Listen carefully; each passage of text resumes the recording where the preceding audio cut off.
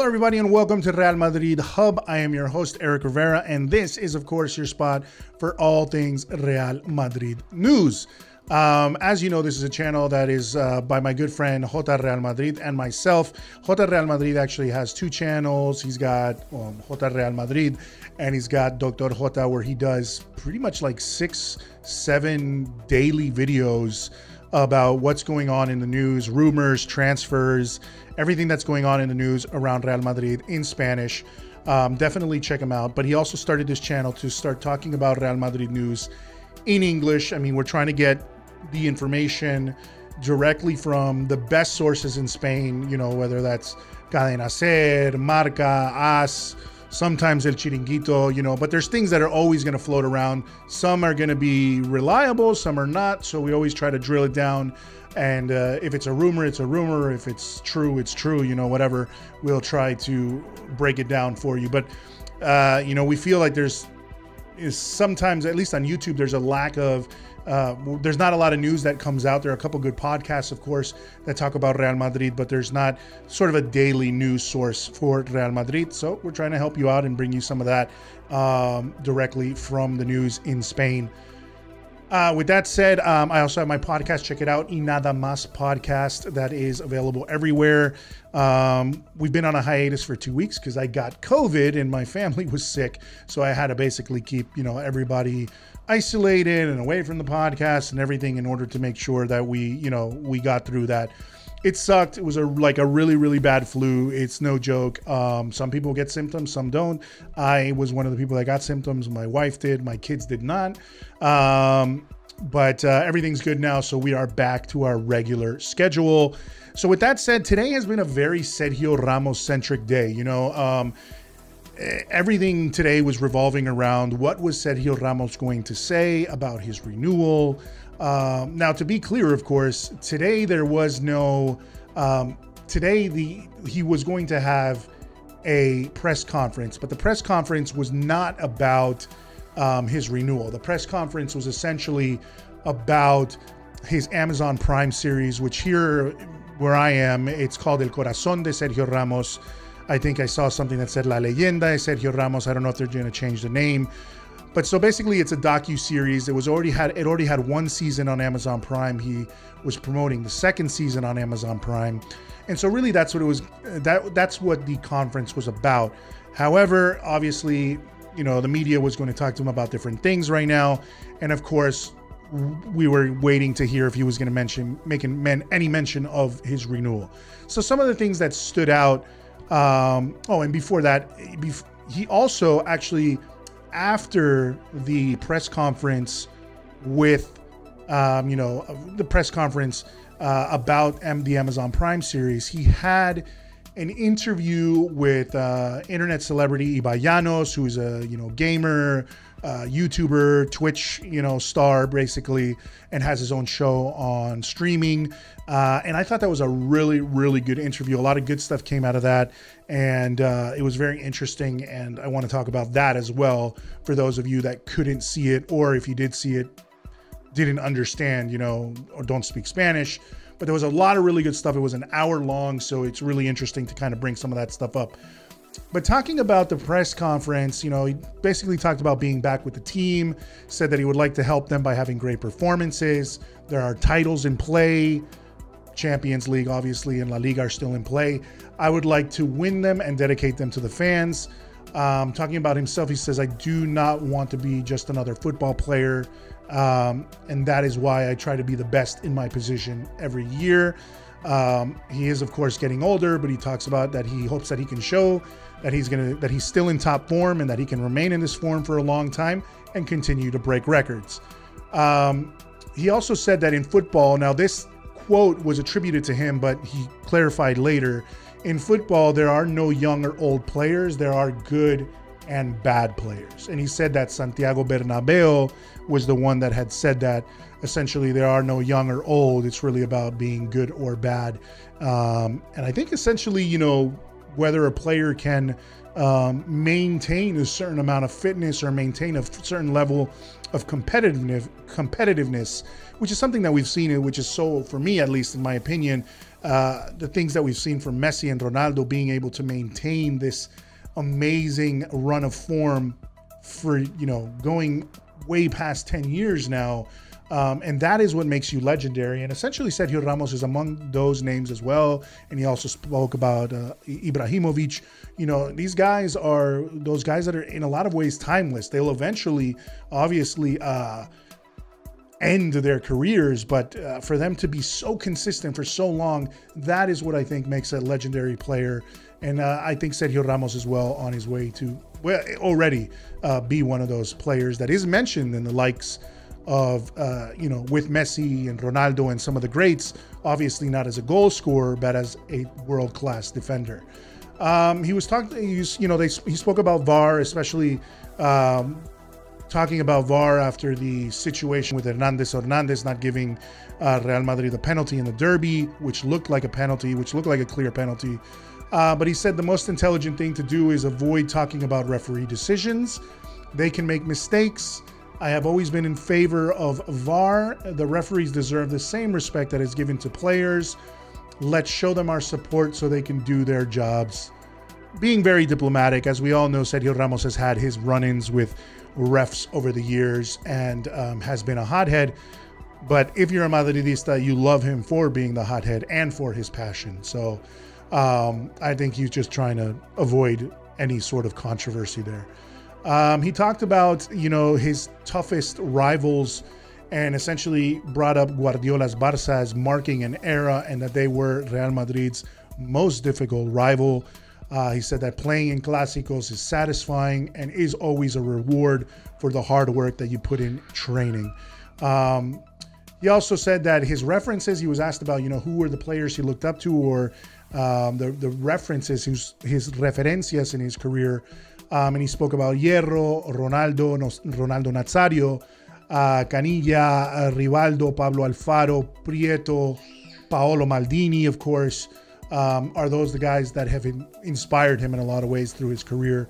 And, you know, I mean, we've already seen that he's been mentioned with the names of, of guys, you know, like Baresi and Nesta and, and, and Maldini as being among, you know, the best defenders. Beckenbauer, you know, uh, is another one, of course. Um, and he's up there for, in my opinion as well. He's up there and, and he's already been placed up there. Um, going back to Barca, he said that aside from you know, getting the three points. When you beat Barca, the satisfaction really lasts all year. Um, I always try to keep my banter to the minimum on this thing, um, but it's really hard to do when Barcelona fans are annoying, I guess. um, so you know, I try to keep it at a minimum, but it's hard to do, and and it's football. You know, we laugh at them, uh, you know, for their getting eliminated one day, and they'll laugh at us getting eliminated the next day. Um, you know, it is what it is. That's what football is. And that's kind of what makes it fun and being a fan. So at the end of the day, though, here it is. He was asked about, you know, his renewal, and his statement was essentially there is a lot of speculation about the information that has come out about my future. All I can say is that there is nothing new. And regarding my renewal, there is no news that I could comment on. I wish there was. Um, I, was left with, he said in Spanish, ya me gustaría, or I would really like to, and essentially kind of saying, I would really like to have news for you, but I don't have it right now. Um, I kind of was a positive tone, so my feeling in all this um, is one of, of uh, positivity, but I'll go into what was said, you know, in his discussion with Ibai Llanos. So with, with Ibai, um, you know, speaking with Ibai, it, it was a really cool, interesting um, interview. And what I liked about it, and what I think stands out to me about the interview with Ibai, was really that it's really interesting to see how media has evolved in a way. And and what I mean by that is you could see that you know, one of the things they touched on, and I'm not going to go over the whole interview, of course, but one of the things they touched on, which I thought was really interesting um, for all of you guys that have podcasts out there, that have YouTube channels, that have, you know, Twitter pages talking about, you know, news from Madrid or whatever your favorite team is. It really doesn't matter. The interesting thing to me was how he talked about, you know, that news, and we we've heard of this, you know, news nowadays is, is has always kind of has an agenda. And, you know, we've seen that if if you follow the Spanish media, Marca and Diario AS and Diario Madridista and um, uh, you know, of course, you know, Barcelona centric outlets like Sport and Mundo Deportivo, um, they all sort of have an agenda. And the agenda is either you're anti Madridista, you're Madridista, you're anti culé, or you're culé. You know, so there's always an agenda. So he he was kind of talking about how he doesn't like giving interviews because he Ibai asked him why he doesn't do many interviews.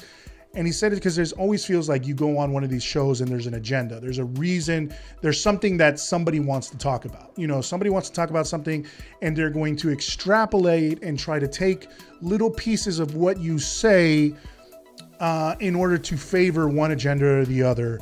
Um, I mean, we've seen it, you know, with the Messi situation. Uh, whether you know what is he trying to say? Is he trying to say he doesn't want to be with Barcelona, um, or that he's not a Barcelona fan, or he's no longer wants to be with the club, or is he just saying he had an issue with, let's say, the the the directiva, you know, the board? Um, if Sergio Ramos, you know, likes a picture of Mbappe, does that mean he's going to PSG? If um, you know Di Maria gives Messi a hug after the game, does that mean you know? So it's all this analysis to try to paint a picture that you truly don't know. You know, the only people that really know, and that's what Sergio Ramos was talking about, was the players themselves. You know, they're the only ones that really know their own intentions. You know, and everybody else is trying to extrapolate and take little sound bites to sort of get that entertainment value and push things in a direction. And uh, it definitely shows that he wasn't a fan of that, but that he was a fan of going on a show with Ibai Llanos, who was essentially a you know an internet celebrity, a talking head like like I am right now. Obviously, I don't have that same amount of following, but what's interesting is this opens for a lot of us that do these you know things like this. It opens a lot of possibilities for all of you guys that do podcasts and news to really think about, you know, sometimes these players might be more interested in talking with people like the fans than people that aren't going to judge them so much um, and are really just going to be happy to be able to hear from their favorite players. And that's what it seems like uh, Sergio Ramos was alluding to. And I thought that was really interesting because the conversation was very open and it was very, you know, fun and it was very, uh, a really cool look at essentially the players to showcase what he wanted to showcase is like, you know, we're just like everybody else. We're players, you know, we're soccer players, but or football players, but we are just like any other person. You know, we have families, we have lives, we have things that don't revolve around uh, revolve around the game, and you know, sometimes we just don't want to be asked the same questions.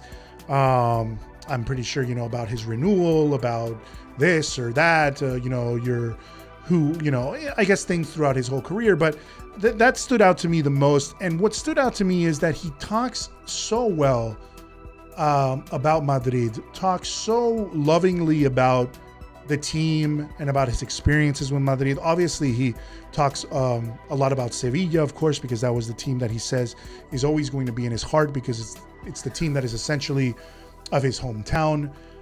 But what, what was interesting to me the most is that it it seemed to me that his whole demeanor seemed very happy, he seemed very calm. Um, he didn't go into any sort of things uh, about his renewal or but bad mouthing Madrid or Florentino or Zidane. If anything, he was very, very, um, very, very, I would say, uh, Madridista, you know, everything we expect from him. Well spoken, talking about, you know, his time with Madrid and how much he's loved his time with Madrid and what he wants to do as a player and what drives him and what motivates him.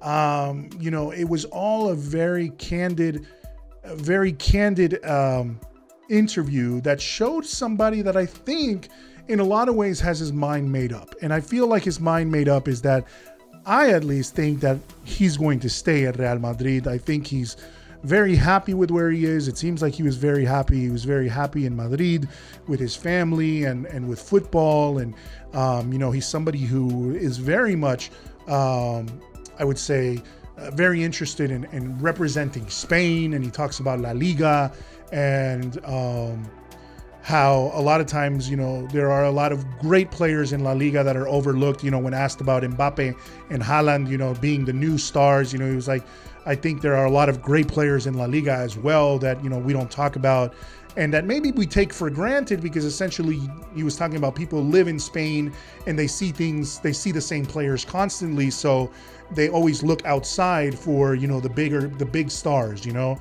Um, but uh, you could see that he's a very, uh, definitely a very, very, uh, he's a Madridista at heart, very passionate. His leadership shines through. And, and once again, for me, this kind of cemented, like I was thinking I would be, after, before this, I was thinking I'm already done with the whole Sergio Ramos debacle. I hope he decides whether he leaves or stays. I don't care, whatever. And honestly, I want the guy to stay because I think he brings something that is so different to Real Madrid. It's not only his leadership, it's his passion, it's his experience, um, it's his love for the game, it's his drive. It's all very contagious. Um, and you know, we know he, he, spoke about how he's really good friends with Luka Modric, and we've seen what an what an inspiration Luka Modric is as well in the game. Um, so, and then he talked about Haaland and Mbappe, and he just said, you know, that um, I think what all of us know, but for me, really, it's that Haaland is the better choice out of the two financially um, and in this moment in their careers because Mbappe is going to be way too expensive for uh, Real Madrid in this current market. Um, he's already a star. He's already somebody, and you would be paying for all of that. Where Haaland is still just not quite there yet, you know. So um, he's still just about to jump into that level. Now, obviously, we have to see how he, you know, things turn out with Borussia Dortmund, not only in the Champions League, but of course in Bundesliga, where they are not currently they're currently in sixth place, and they are currently not going to qualify for the Champions League if they don't get out of sixth place. Um, so that'll make a lot, very big difference on how much he's going to be cost, or how much he's going to cost for Real Madrid. But um, you know, so he said that he was very much uh, interested in having somebody like Haaland to come to Real Madrid, and uh, you know that uh, you know asked about projects. I think talking about Messi and things like that, um, how you know players look at projects and want to win titles. He seemed very, uh, you know, happy, and he seemed like he wants to continue at Real Madrid. In my opinion, that's what I got from it. I think uh, we're going to see him stay. Now, that is just my opinion. Um, they also, one thing I think that was funny was they asked him if there was any amount of money in the world that they could pay him to play for Barcelona. And he said there are just things that money can't buy, and they're just things that you don't do, you know. And um, so for him, it was no chance of ever going to Barcelona. He, they were asked if like if somebody if they brought Messi to Real Madrid, would he do it? And he said, of hundred percent. You know, I would even, I would even give my house if he needed a house in Madrid. I would even give him my house to, while he's making, you know, the arrangements to move to Madrid. But he knows that that's obviously not a possibility. There's just, there are players that you associate with these teams. You know, he had great words to say about Xavi and of course Iniesta and Piqué, people that he shared this, you know, amazing Spanish national team with, who are Barcelona players.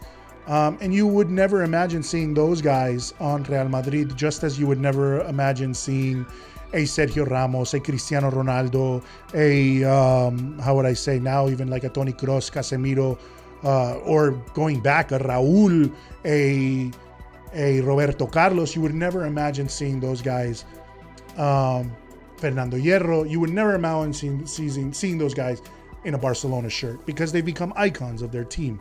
Whether they go somewhere else is, is different, you know, like Cristiano or other players, but um, they would never go to their most die-hard rival. So all in all, that was my take on today's news. I think it was really cool. Like I said, I'm a, I, I, be, I constantly become fall in and out of love with Sergio Ramos. I mean, I'm a huge fan of his. You can see that there's a poster back here of Sergio Ramos. Uh, that's that poster that's back there. I have the shirt. Um, that's like his profile. This picture, what right over here. That's like his profile right there. So I'm a huge Sergio Ramos fan. I think he's amazing, and I would love him to stay. Um, but whatever happens happens you know and i think he's going to be a legend no matter what. But it's really kind of a it was it was interesting to see this kind of take. Uh, it opened my eyes in a lot of ways. Um, to what's possible right now with new media like all of us and possibly interviewing people and, and hopefully growing this channel to where we one one day have somebody of that stature on here and representing us talking about Madrid or something like that. So uh, it's cool to open the lines and the uh, interesting to see that you know these players are paying attention to all of these little channels and you know YouTubers and Twitch and everything. You know, so. Uh, it was an interesting day for for news and that is my news for today i haven't spoken to you guys in a long time in this form so that is my news from real madrid hub make sure you subscribe to the channel real madrid hub on youtube and also make sure you subscribe to my podcast e nada más podcast available everywhere podcasts are found and on social media as e nada at e nada más podcast twitter instagram facebook. All right thank you guys and we'll talk again soon